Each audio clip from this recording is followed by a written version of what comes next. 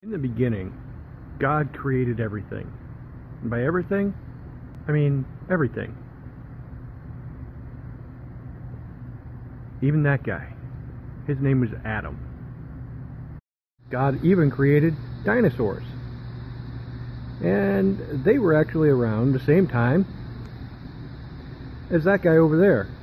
And that's his wife Eve. She was made from his rib.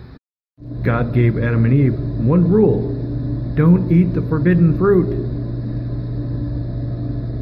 Yeah, they didn't listen too well. And that caused some problems for the rest of us.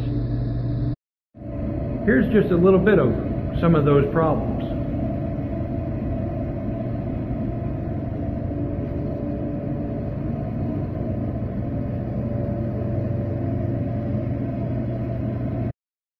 Because of Adam and Eve's sin, we now all sin, like lying or stealing or using God's name in vain. And there's a punishment for that. It's called hell. It's the lake of fire.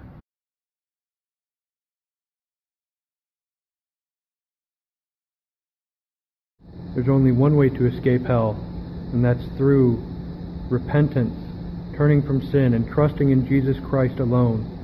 He died on the cross to pay for your sin with His blood. Jesus came back to life three days later, after He was buried in a tomb. He defeated death, He defeated hell, and He offers you eternal life. Turn from your sinful nature today and trust in Him alone.